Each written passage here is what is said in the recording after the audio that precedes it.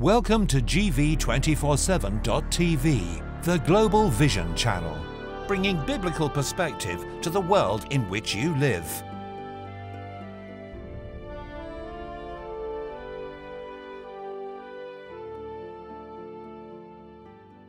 Hi guys and welcome back to the Lamplight Project Study Guide Fellowship and we're on section 11 which is Interpretation in the Early Church and we were working our way through worksheet 1 Early Christian Doctrinal Arguments but before we go on to the next question Alistair could you open in prayer please? Yes.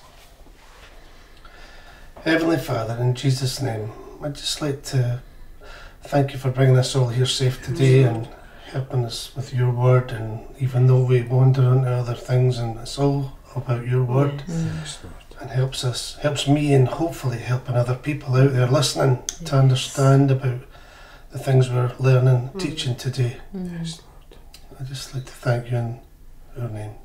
Amen. Lord. Amen. Thank you for that Alistair. Well as I say we're on section 11 and we're worksheet 1 and we're under the heading of Early Christian Doctrinal Arguments and we're going on to question 4 and question 4 is think about and discuss division developing church in Israel and we're given the passage Romans 11 1 to 32 so I think before we, we go round the table and answer that we should read Romans 11 1 to 32 do you want to start? Sorry, you've got the Bible in hand. Yes, if you don't want to start, no. I'll start. I'll have to find it for. I'll start if You you want. start. if you- yeah. Okay. Just to save me waking through. Okay. Romans 11. I ask then, did God reject his people? By no means. I am an Israelite myself, a descendant of Abraham from the tribe of Benjamin. God did not reject his people whom he, whom he foreknew. Don't you know that the scripture says in the passage about Elijah how he appeared to God against Israel? Lord, they have killed your prophets and torn down your altars. Am I the only one left? And they are trying to kill me. And this was God's answer to him I have reserved for myself 7,000 who- who will not bow the knee to Baal. So too, at the present time, there is a remnant chosen by grace. And if by grace, then it cannot be based on works. If it were, grace would no longer be grace. What then? What the people of Israel sought so earnestly, they did not obtain. The elect among them did, but the others were hardened, as it is written. God gave them a spirit of stupor, eyes that could not see, and ears that could not hear, to this very day. And David said, May their table become a snare and a trap, a stumbling block and a retribution to them. May their eyes be darkened so they cannot see, and their backs be bent for evermore. Again I say, did they stumble so as to fall behind recovery? Not at all. Rather, because of their transgression, salvation has come to the Gentiles to make Israel envious. But if the transgression means riches for the world, and their loss means riches for the Gentiles, how much greater riches will their fullness bring? I am talking to you, Gentiles, inasmuch as I am the apostle to the Gentiles. I make much of my ministry in the hope that I may somehow arouse, arouse my own people to envy and save some of them. For if their rejection is the reconciliation of the world, what will their acceptance be but life from the dead? If the part of the dough offered as first fruits is holy, then the whole batch is holy. If the root is holy, so are the branches. If some of the branches have been broken off, and you, though a wild olive shoot, have been grafted in among the others, and now share in the nourishing sap from the olive root, do not boast over those branches. If you do, consider this you do not support the root, but the root supports you. You will say then, Branches were broken off so that I could be grafted in. Granted, but they were broken off because of unbelief, and you stand by faith. Do not be arrogant, but be afraid. For if God did not spare the natural branches, he will not spare you either. Consider therefore the kindness and sternness of God. Sternness to those who fell, but kindness to you, provided that you continue in his kindness. Otherwise, you also will be cut off. And if they do not persist in unbelief, they will be grafted in. for God is able to graft them in again. After all, if you were cut out of an olive tree that is wild by nature, and contrary to nature were grafted into a cultivated olive tree, how much more readily will these, the natural branches, be grafted into their own olive tree? I do not want you to be ignorant of this mystery, brothers, so that you may not be conceited. Israel has experienced a hardening in part until the full number of the Gentiles has come in, and so all Israel will be saved, as it is written. The deliverer will come from Zion, he will turn godlessness away from Jacob, and this is my covenant with them when I take away their sins. As far as the gospel is concerned, they are enemies on your account. But as far as election is concerned, they are loved on account of the patriarchs, for God's gifts and his call are irrevocable. Just as you who were at one time disobedient to God have now received mercy as a result of their disobedience, so they too have now become disobedient in order that they too may now receive mercy as a result of God's mercy to you. For God has bound everyone over to disobedience so that he may have mercy on them all.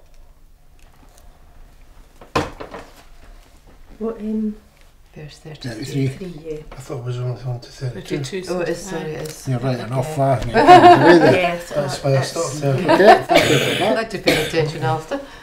So, back to the question. The question. Think about and discuss division developing church in Israel. Any thoughts, Alistair? Anything?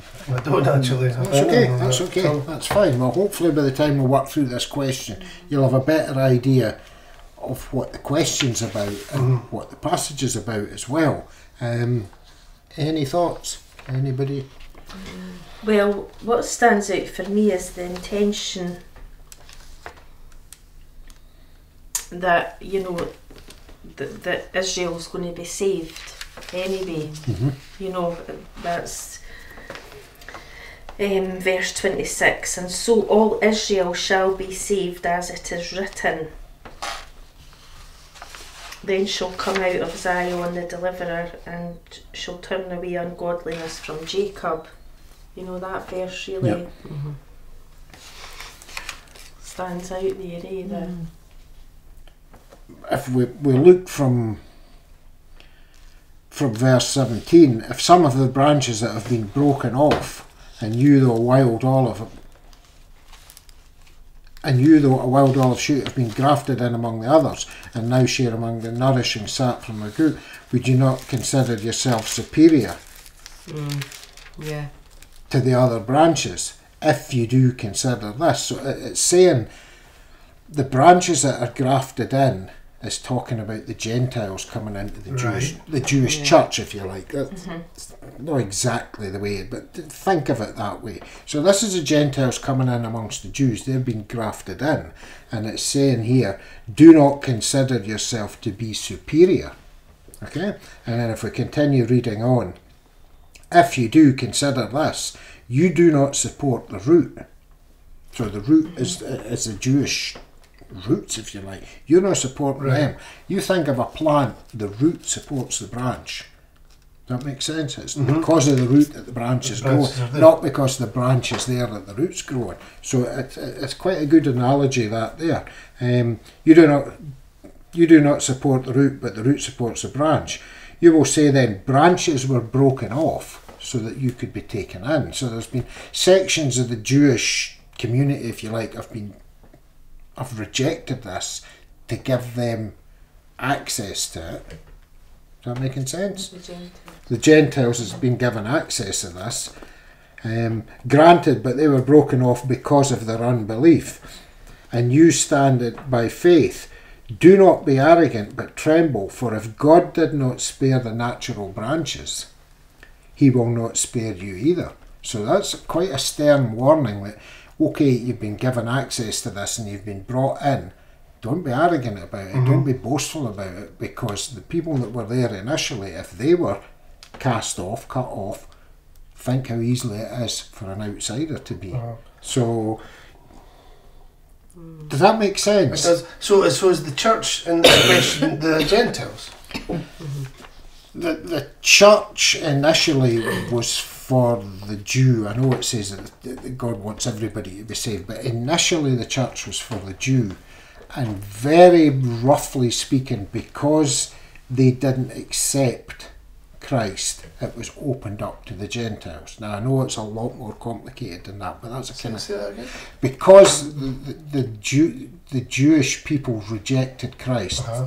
therefore it was opened up to the Gentiles. Now it's a lot more complicated. Yeah, because than that was always part of God's plan. You, you Oh, find that right away Mm. back in the beginning. Yeah, that it was, was, part for of, everybody. But but Doug's right at this point that that's Jesus came first to the Jew Mhm. Then to the and then to Gentile. the Gentile. That's it very simplistically Yeah. to, to try and give you an understanding of it. Because they rejected it, it was opened up to the Gentiles. So this is what this is talking about that the branches are grafted in, the Gentiles are grafted into the church because of the disbelief. Um, Of the juice to, Of the Jews towards to that. Jesus. So is, is that making any sense, Alistair? What I've tried to explain there. I know it, it's quite a simplistic explanation, and there is a lot more to it than that. But just from the passage we've read, trying to give you an understanding of what's going on there. Yeah. You following Yeah. that? Yep. I love how Jesus uses agricultural terms and situations to give a Mhm. picture of what he's trying to explain. But that's the what they farmers and that, aren't they? Yeah, they yeah, understand that more, don't they? Of, and of yeah. what- Yeah. And it's Sure, really- would have known that. It'd like somebody, you know, trying to explain something to you. Well, you you know joinery, so if they were to allude to it in joinery terms, Mm. you would get the idea what they were talking about so much easier Mhm. than if they were talking about Yeah. I don't know whatever something that Mhm. you'd no understanding of.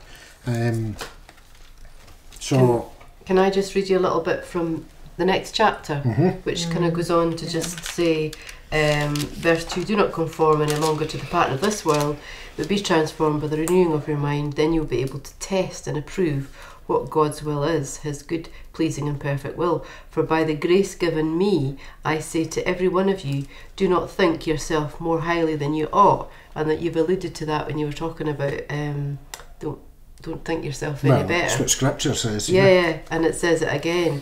Um, but rather think of yourself with sober judgment in accordance with the measure of faith God has given you. And then it goes on um, about a body having many members. But it, yeah, it was just don't think of yourself more highly than you, than you ought. That um, you mentioned that when you. And again, it's back. You know, we've been given this section of Romans eleven. Mhm. to read 1 to 32. To really get the grasp of that, you really need to read Romans 9, Nine. 10, and 11 because the three chapters herself are basically about the, the, the Jews and the Gentiles and the way the church is and the way they've been brought in. And as you can see, as Shona's brought out, you go on to 12.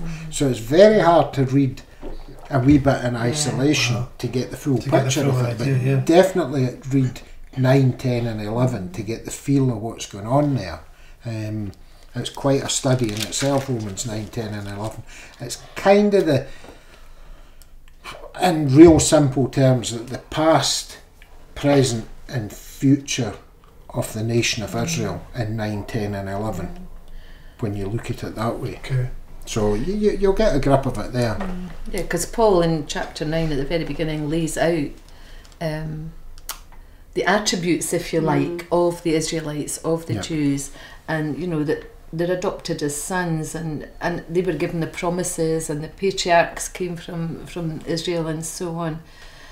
so he kind of lays the the ground as to who the, the Jews are and um, how God has worked in them and through them through all these centuries.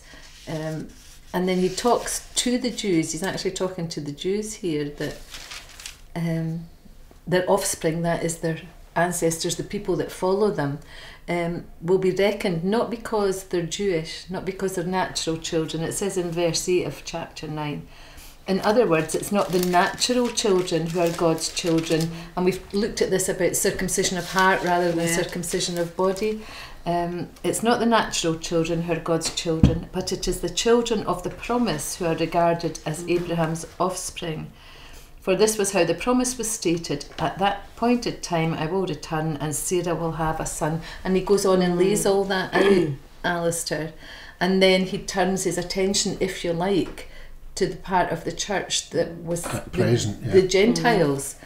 Um, because Jesus did come first to the Jews, and it, all the apostles are Jews, you know, and, and so many of the disciples, Jesus and. Jesus was a Jew. But some of the Gentiles who were coming in were basically saying that they were better than the Jews, you know, and, and that, that division developed as time went on. It became more and more obvious that um, some of them were blaming the Jews for the death of Jesus. And of course, we know we're all to blame, Right. um, not just the Jews. So, Paul is answering these arguments that the Jews are God's people and they are the natural root, never mind the branch, th th they're the root, you know, and they are the natural branches. And we who are Gentiles, or those who are Gentiles, have that privilege of coming in to join that grafted in. that as gra- yeah onto that tree. I mean, they're using the picture of a tree. You know about grafting um, branches and that into a tree. I never, I never knew about that. Somewhat like gardening. You know, Uh-huh. I'm, I, I'm not a gardener, but I studied that with a friend who who does gardening, Uh-huh. and she explained that to me Mm. when we did Uh huh. uh, chapter eleven, Yeah. Well, we and had. that helped me Yeah. to. Oh, so you know, uh-huh. so yeah, Yeah, because we had a tree in our garden at one time, and that's what it is. It was a, it was a cherry tree, but it had Mhm. wild apple grafted onto it because the Uh-huh. cherry's too fragile. So and so it's this kind of thing, you know. yeah, That yeah, they're using that picture. They're using the stronger So- root Uh-huh, Yeah. Uh-huh. for uh, something that's put in that isn't so Yes, strong. uh-huh. Because the root wasn't just going to support the natural branches; it was going to support these wild branches, Mm. which are Mm. us around this Yeah. table. Um, and so everything that the Gentiles were benefiting from came from that root and the natural branches, Mm. who were God's people, the the Jews. Um, but as time went on, you know, more and more there was a division coming in, which is what we're just, um, looking at. That many of the Gentiles started to think that they were the church and the Jews had no part in it. And yet Paul is laying out very clearly in chapter 11, and as Doug says, read chapters 9 to 11 to get the whole picture, that the Jews are not forsaken. God hasn't turned his back on them. And I always say to people who want to argue that, if God turned his back on the Jews, then what makes you think he wouldn't turn his back on you? Because he's a covenant keeping God, he's a promise keeping God. If he doesn't keep his promise to the Jews, then what hope do Many people have? don't want to acknowledge the Jews um, Mm, that's right. today in church. So And I mean, what's happened to them? I know, Oh, yeah. you know, and that's because yeah, really they're God's people, and then they, Yeah. they rejected him. Yeah. You know, They- But we, we see even at this time that there's a there's a Paul's warning them. Mm, Do not yeah, consider yourself right. to be superior. So there's obviously something going on that they think they're a wee bit special yeah. because th- they've been accepted in, or, or, or whatever way that they seem to think about it. I mean, there's a couple of mentions there. Um, do not consider yourself superior. Um, where else did I see it? There's, there's something about an arrogant. I do not be arrogant. That's right. In, in verse 20, do not be arrogant. So th- that must have been going on. There must have been an arrogance and, and this feeling of superiority that they were some special. for. Paul to address it. He wouldn't have addressed it if it hadn't happened. Um, and I think. On No, the on, man- on. I was just going to say that we've got to bear in mind if we go on to verse 25, um, I do not want you to be ignorant of this mystery, brothers and sisters, so that you may not be conceited. Israel has experienced a hardening in part until the full number of the Gentiles has come in. Now, this is going on to another subject again, but you know, we'll mention it. There's going to be a set amount of Gentiles that come in, then that's it. Um, in this way, all Israel will be saved. And as you brought out there, Heather, that there's that this is future prophecy that's talking about that we'll look at later on, as we keep saying. Um, but bear that in mind that there's been a hardening in part for Israel. So this has happened for a reason to allow the Gentiles in, but there's going to be a period that when the full number are in, that's it. Now, when that period is, I don't know. There's all sorts of debates and speculation on that, and all sorts of theories. And the more you look into that and the different aspects of it, the more you can agree with each one. But that's not what we're talking about at the moment, so we'll leave that alone. Um, If we look at chapter 10 as well, Duke, Yeah. um, Paul starts off by saying, Brothers, my heart's desire and prayer to God for the Israelites is that they may be saved. For I can testify about them that they are zealous for God, but their zeal is not based on knowledge. Since they did not know the righteousness that comes from God and sought to establish their own, and that's what we're talking about with the Pharisees and so on, aren't we? Um, they did not submit to God's righteousness. And lots of Christians do that mm-hmm. today. They're trying to find their own Yeah. path to righteousness instead of submitting to God's. So Christ is the end of the law so that there may be righteousness for everyone who believes. Moses describes in this way the righteousness that is by the law. The man who does these things will live by them. But the righteousness that is by faith says, Do not say in your heart, Who will ascend into heaven? That is to bring Christ down. Or who will descend in the deep into the deep? That is to bring Christ up from the dead.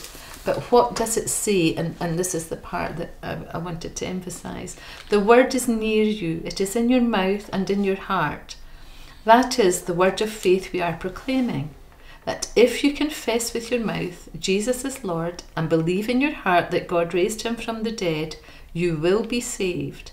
For it is with your heart that you believe and are justified, and it is with your mouth that you confess and are saved. As the scripture says, anyone who trusts in him will never be put to shame, for there is no difference between Jew and Gentile. The same Lord is Lord of all, and richly blesses all who call on him. For everyone who calls on the name of the Lord will be saved.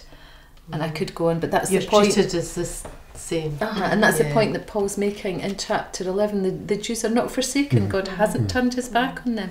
Any Jew who believes that Jesus Christ is Lord will be saved. And many, many have over the centuries. And in the beginning, it was the Jews who believed and then brought Gentiles in very early on, even Peter with Cornelius and, and Yeah. things, you know, people like that. Um, so Paul is very much making this point, which a great portion of the church in the West does not mm. believe mm-hmm. today, mm.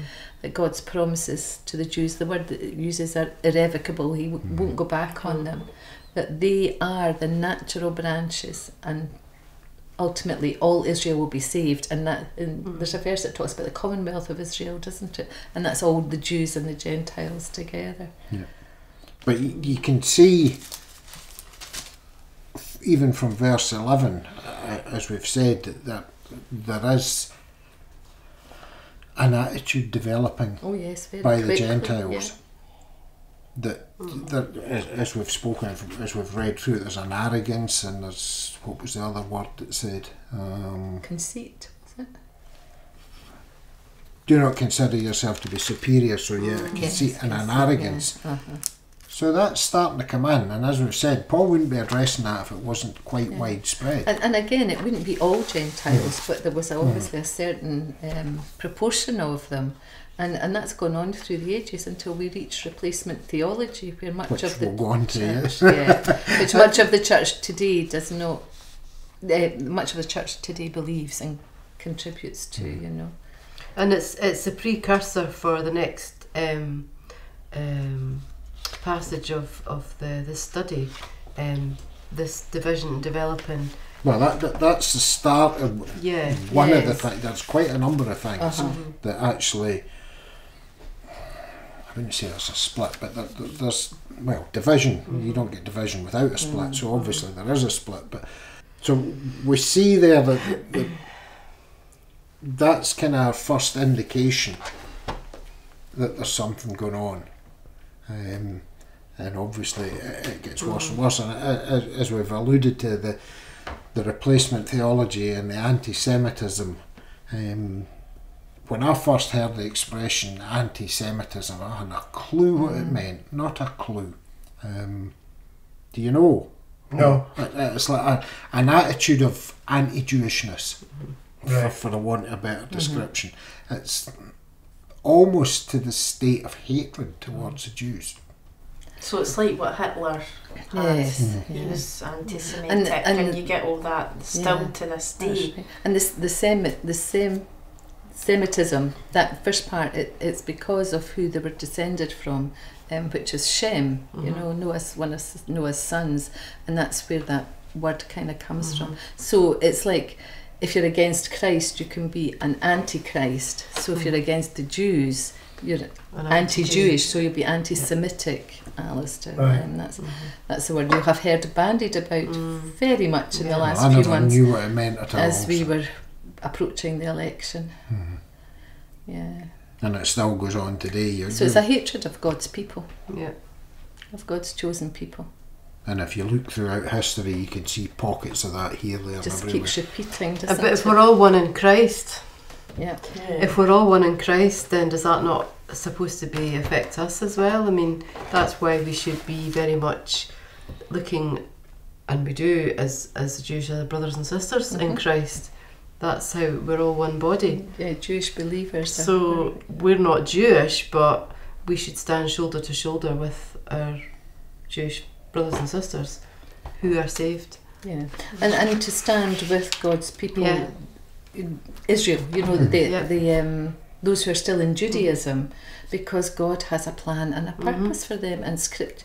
Scripture is very Mhm. clear. I don't understand people who read Mm. scripture and, and, and can't see that that God's hand is still on them, Mm. and in the end times, God has a particular plan and purpose for the Jews.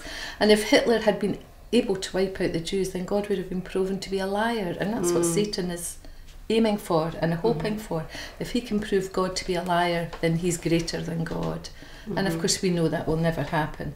Um, But how, as a, a believing Christian, you can't have empathy and understanding for the saved Jews? I don't know.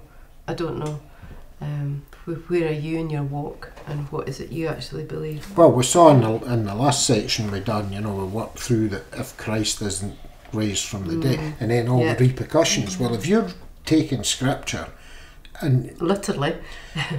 or if you're not taking it literally, it's- it's what I'm trying to bring right, out. yeah. yes. Right, if you're not taking it literally, or if you're adding allegory or, or, or something Yeah. into what you've read, you can see how Yeah.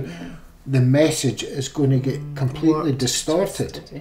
Mhm. Which is why I tried to bring that Yeah. out in the last Uh-huh. section. That Yeah. you just you take this one wee bit And it, and look at the repercussions from this one thing. wee thing. Yeah. Mhm. So if if you're reading the whole of the Bible and allegorizing, we're going to cover this a wee bit as well. But Yes, if, if you're al- say you read a passage and it was quite literal what it meant, and such and such is going to happen, and this is going to go, on, and you're saying no, but that really means Mhm. X, Y, and Z, Mhm.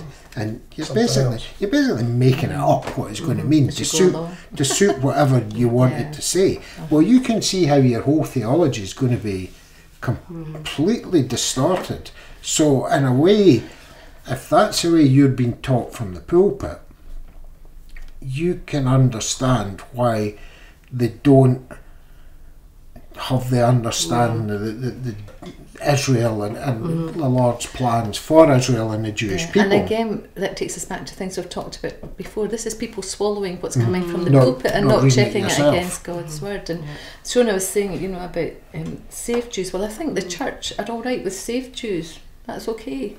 But it's the unsaved Jews that they have this problem with, mm-hmm. and, and believing that the church has replaced mm-hmm. The Jews, you know. You're in Romans just now, Alistair. Yeah. What are you on? Nine. Nine here, yeah. Right, well, just as a daft example, Romans 9, okay? If you weren't checking your Bible and I was up in the pulpit mm. and I said, I'm going to read from Romans 9, and I started saying, well, once upon a time, Jack and Jill went up the hill, like, and, and you're actually reading that, and you're like, what? Mm-hmm. If you're not reading that, you're just going to take my word Take for it. take word for what it. I'm saying, I know that's a really stupid example what I've just given, but you can see where I'm coming from mm. with And so often people don't have their Bibles with them in churches now. And it has been known for certain sections of the church, certain pastors, to have mm. scripture up. I don't trust scripture mm. up on an And it's a cut and paste job. and It's they've half cut and of one pasted thing it. and Yeah. half of They, something they else. take sections from this chapter and a, a, just a verse maybe from another, which totally changes the meaning. So if you don't have a proper Bible, a good Mhm. Bible in front of you, how do you know that what you're seeing and what they're Yeah. saying is the truth? Right. Uh, So, like, even that daft example, you, you know, you can be looking I never thought Romans about 9. anybody wanting to do that before. Oh, you know, I've yeah. seen that yeah. on a website of one of the mega churches. It was two half verses taken and joined to pasted make it together. look like one passage, and it was on one of their. Mm-hmm. I think it was on the front page of one of their websites, Mm-hmm. and it's like wow. Yeah. So And and that, that comes from a hatred of God's people, mm-hmm. and actually a hatred of God's truth as well, mm-hmm. because they're Well, it is if it's doing exactly what Revelation tells us not to do. You know, altering it. We're not even supposed to alter a jot No. or a tittle, Little. and they're altering whole sections of it. Um, we could name names, but we won't. no, no. Um, it's horrendous. It's horrendous. And of course, at one time they wouldn't have had the capability of doing To do that. that, yeah. So technology that can be so useful can be used for such Just, just ill. Yeah. But the New Testament's um, horrific warnings about deception and false teachers. I mean, throughout the New Testament, Jesus warns again and again. So check everything, test Yeah. everything. And I mean, Paul's heart for his fellow Jews, for Israel, is, is so heavy, you know, because he says in chapter 9, verse 3, I could wish that I myself were cursed and cut off from Christ for the sake of my brothers. I mean, that's. Mhm. That's some burden. Mhm. But you take where Paul came from. I mean, he obviously we- we've spoken before. He knew the law and he was well trained in the Yes. law.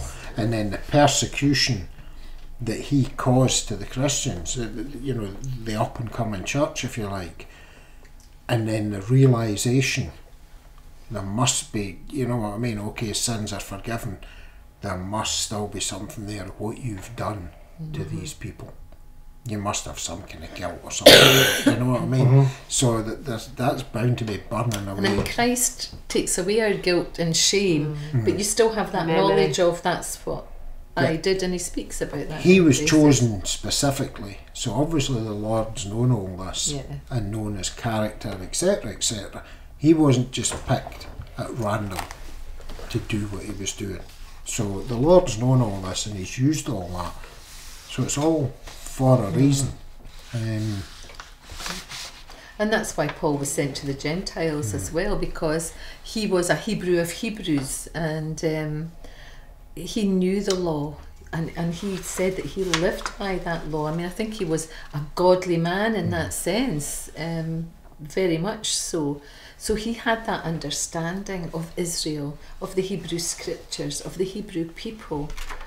And yet, God sent him to the Gentiles so he could take all of Israel's history, God's promises, the thread that runs all the way through of the promised Messiah, and take that to the Gentiles with an mm. understanding from both a Hebrew, a, a Jewish mindset, and then actually be able to reach out mm. to the Gentiles and, and put that in place so that they were being taught properly about God's love for the Jewish people. So there should have been a melding of Jews and Gentiles mm. in the in the church, and there were in, in lots of mm-hmm. places, but very early on, as, as you were saying, I it just read you something. in. Something. I know it's it's in the next page, but it's just because we've been discussing it. It's well, it makes sense. Okay. Justin Martyr described those who promote allegorical interpretation of scripture, which we've just been talking about. Some who are called Yes. Christians but are godless, impious heretics, teach doctrines that are in every way blasphemous, atheistical, atheistical, and mm-hmm. foolish. So I know we're going on to look at that. what I thought we would do is once we're finished this question, look over the Yeah. next questions and Uh-huh. then read the whole Yeah, of that again. it's just because because this will make more that. sense now uh-huh. we've worked through some of those questions. And if we, we skim through the questions to give you an idea what we're going to be asking, obviously you have any, and then read this in light of it, I think it should Yeah, yeah. open it out a bit. But Yeah. that, no, but that was that's a relevant. point. That's It's very relevant. Yeah, yeah. So you can see this as a start of some kind of division happening, um, and you can see, as we've said before, how not reading the scriptures properly or not interpreting them the way they were supposed to be interpreted, which we'll go on to mention in amongst Yeah. this as well, can lead you off on a completely different route. Is that making sense? Because that's what's happened with this division, Alistair, that um, Gentile believers weren't reading scripture literally. And there's passages in. I'm sorry, I'm not very well, so I can't recall them at the moment. But there's passages um, in the Word which tell you about the blessings, and, and we've read some of it actually in these um, chapters in Romans about the blessings that are theirs because they were God's chosen people, the patriarchs came from them, all of these sorts of things. And you find people who are anti Semitic, and that is what they are, um, will say that these blessings are for the church, they're not for Israel. And any curses where or anything bad is Was- for the Jews. Yeah. And that's not what scripture says at all. But they'll twist it so everything good It's is for about the, the church, church. and everything bad is about those That was Jews. the you know. Israelites. Yeah, uh-huh. and they twist it all. And that's, as Duke is bringing out again and again, that's why it's so mm. important that we read this word literally and where there are allegory and mm. metaphors, be mm-hmm. aware of mm. that. And, and be sure that we're, we're reading the plain meaning of the mm-hmm. text. And I mean, the lamplight brings that mm-hmm. out again and again and again. Um, and, and that we're, we're not looking to invent meanings or things that suit a particular mm. Siam bias says, that we have or mm. preference that we have. Siam Byron says we are not to be lazy mm. as we read Yeah. this. Study to show yourself Yeah. approved. And is it Peter Williams that says that the text of the Bible needs struggling with? But Siam That's says Siam that says we that are to well. wrestle with We're to wrestle with it. You need to We struggle have with been it. wrestling with this for 2,000 years in antiquity, he said. Yeah, that's Yeah. right. So, so we need to continue that. And I like Darrell Bock when he's talking about that as well. If you if you're working your way through it and you come up, Mm-hmm. how did he word it? If you come up with a a theory, Oh, a new theory. a new of- theory that nobody else has come up with Uh-huh. before, your chances of being right are pretty slim. Right, Slim, aye. That's right. that That made me smile when you I said thought that, was yeah. excellent. 'Cause- Yeah. But if you think about it, there have been people studying the word for thousands of years. Mm. So, literally, the chances of you finding something in there that nobody else has noticed before are really slim. And if you do come up with something that nobody else has came up with before, Bock says, your chances of being right are pretty slim.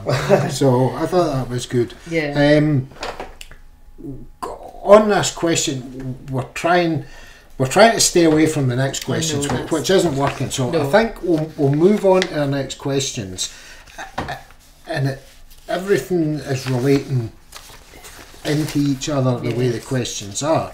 Um, I'll just read the bottom of the page here um, before we move on. Whilst advice from the interviewed academics is that the Word of God is to be understood both in a literal and a spiritual perspective, the plain meaning of the text, co-text and co-text, with careful study is the order of the day. We read out of the text to get the meaning, which is exegesis, rather than reading in rather than reading our own meaning into the text, which is eisegesis. The latter, meaning eisegesis, leads to allegory and metaphor. However, the believer who studies the word has the promise of the counselor, and it quotes John 14:26.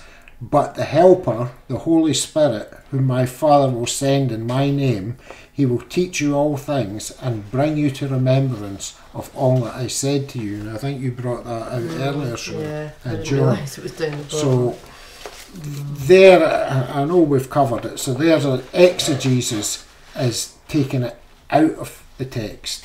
So the way I remember that, exegesis, exit, you're taking it out, and then eisegesis is you're reading the scripture and you're basically making it mean what you want it to mean. Mm-hmm. And it says there that leads to allegory and metaphor. So we'll go on. What I thought we would do before we read the next page is skim through the questions just to give us an idea what we're looking for. And then we'll read the page in between. So going on to worksheet two, we're not actually going to do the questions just now, just look through the titles. The first one is what historical events would contribute to a philosoph- a philosophical view? The second question, the influence of the Gentiles into the church. The third question, problems regarding a milk or even a baby food diet of doctrine. And the fourth question, the difference between biblical Christianity and Christendom. So if we keep those questions in mind and then read through the page that's in between. Now bear in mind this is a transcript of what the actual lamplight video is. So this is pretty much word for word of what you would be seeing on the video. Shona, could you mm-hmm. start off on that and we'll just work round. Doctrinal issues continued into the second century, known as the patristic age, where the disciples of the apostles or early church fathers rebuked false interpretation of scripture. Methods of allegory and metaphor were hotly refuted. Justin Martyr, 100 to 168 AD, and Irenaeus, 130 to 202 AD, wrote regarding three classes of men the heretics denying the resurrection of the flesh and the millennium, and the thousand year reign, the exactly orthodox, asserting both the resurrection and the kingdom of Christ on the earth, the believers who consented with the just, that is James, and yet endeavoured to allegorize and turn into a metaphor all those scriptures produced for a proper reign of Christ. Justin Martyr described those who promoted allegorical interpretation of scripture as some who are called Christians but are godless and pious heretics, teach doctrines that are in every way blasphemous, can't say that word, eth- Atheistical. Eh, that's it, atheistical and foolish. The early Christian church was a Jewish movement, and traditions aside, scripture was understood from a Hebraic perspective. However, Greek Hellenistic philosophy would soon bring its own influence. But why would certain people who clearly wrote about the love of God and Christ turn particular texts into an allegory? Okay. To begin to understand these kind of questions, we need to go back in time and visit Egypt and the great library of Alexandria, where we find a school of philosophers who debate the latest topics of the day.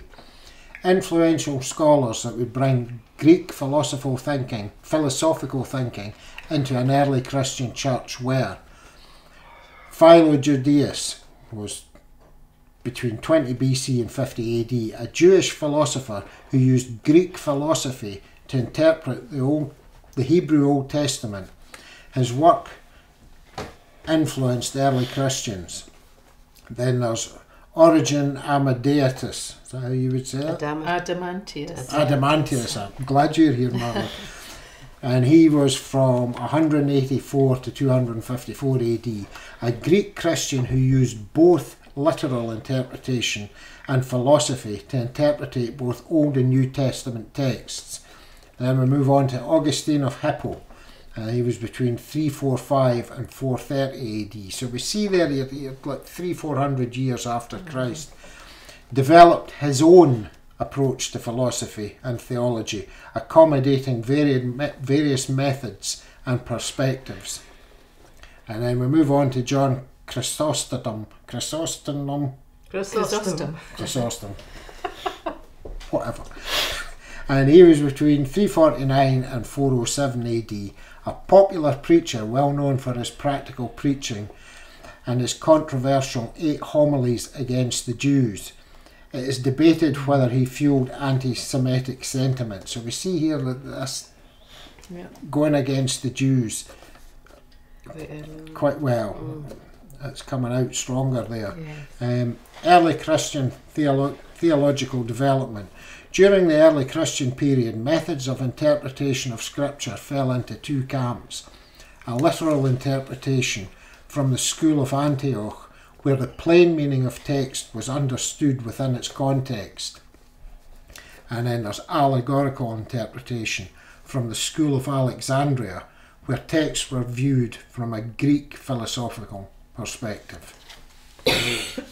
so, is any of that making any sense? Uh, We'll we'll open that out a bit as we go through the questions. But I think the bottom line there is that there's a literal interpretation and there's an allegorical interpretation.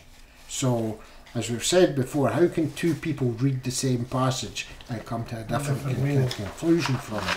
And I think the whole point of this thing is, you know, it said back in the start of this that there's so many different interpretations. Well, why why is there so many different interpretations? I mean, how can different people, as I've just said, read the same passage and come to completely different conclusions over that passage? It's the way you interpret the passage. Whether to me, a lot of people, oh, there's so many interpretations. Well, boiling it down, there's only two. You either take it literally, a literal interpretation, or you turn it into an allegory. And if you're turning that into an allegory, you can make it mean anything you want. Whether you're doing it for your own gain, whether you're doing it through ignorance of the way you read texts, or whether that's the way you've been taught from the platform. So we'll, we'll look into this a wee bit. So moving on to worksheet two, um, which is headed Early Christian Theological Development. And question one on that is think about and discuss what historical events would contribute to a philosophical view. Any thoughts? Well, I struggled with the question. That's okay. I had to go back and really, what does it mean? And what historical events? It was the doctrinal arguments that were the historical events. Because I'm when I look at something, um, I'm very literal. Well, It's no, like- but I had a bit of trouble with that question Yeah, as well because uh-huh. we've discussed a lot of these Yeah. things in, in the past, but I thought, where are we actually going Where- with yeah, this one? Because I was a bit, um, yeah. but in light of listening, as I've written to section 11 again Mhm. and again, uh, world events changed the Hebraic understanding to Greek Hellenistic. So they were allegorizing sections of the Old Testament, Yeah, and that had an effect. That's what I thought. Okay. yeah. Well, there, there- there's clues to that in what we've read before. Yeah, because even when you look at Philo Judaeus there, he was a Jewish philosopher, but he used Greek philosophy to interpret the, He- the Yeah. Hebrew Old Testament. Why would he do that, you Mhm. know? Um, but that's because this Greek philosophy, with this great library in Alexandria, Alexandria and so on, was coming to the fore Mhm. and, and people were absorbing those Yeah. ideas. Scholars were Mhm. absorbing those ideas. And so instead of looking at the truth, they were looking at it with a Greek philosophical mindset, which skewed everything they were looking at. And, and we've been talking about that, how what you've absorbed as you grow up, what you've been taught as you grow up, It's can like it's, so easily lead you down a rabbit trail down the it's like it's that. not enough. We've said that so many Yes, times. yeah. God's word is not enough, so we need to add something to it. We need to, you know, pad it out or or give it my meaning because I'm so important. You know that that type of Mm. Well, it- thinking. It's like these these I'm men. afraid, guys, I Oh, have no. to stop you there. We're out of time once again, but we'll continue this on in the next one. Okay. So, Thank you. Thank you all for your input, and it's sorry good. for cutting you short No, there, no, Marlon. that's fine. No, we're but out we of can time. we can pick that up actually. We'll go on to that in the next Yeah. one.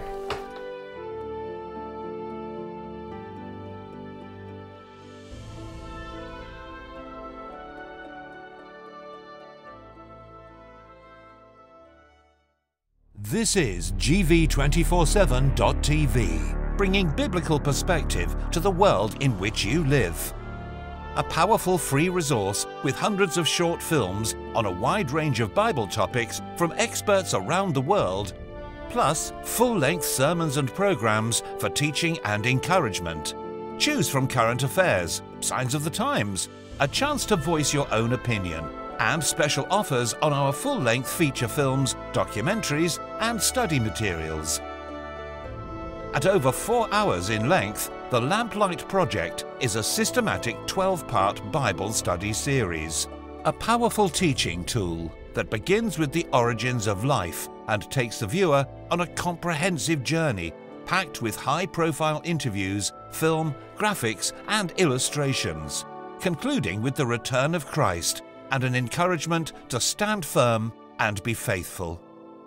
Complete with a free study guide download for both personal and group study, this powerful interactive guide connects to over a thousand programs with expert interviews on GV247.tv, our free service web TV channel. Does My Life Have Meaning? A powerful one hour presentation produced from the Lamplight Project. With a free copy of the Gospel of Luke, this film is crammed with engaging interviews, film, and graphics. A life challenging film to those searching for answers. As distributors for the Jesus film, we offer this timeless movie based on Luke's Gospel. This clear presentation of the life of Jesus Christ has been viewed worldwide and translated into over 1,200 languages. We provide the film with a free copy of the Gospel of Luke. The Daniel Project is a popular TV documentary that presents an overview of Bible prophecy and an encouragement to read the signs of the times. Hailed as one of the best TV films to be made on the subject, DVD extras feature a heart to heart interview about the way of rescue. Based loosely on the documentary, The Daniel Connection is a full length feature film. This fictional thriller incorporates many of the themes promoted through pop culture and social media which affect people on a global scale. Launched at the Cannes Film Festival, The Daniel Connection points the ever skeptical viewer to search the Bible for answers to life's deepest questions.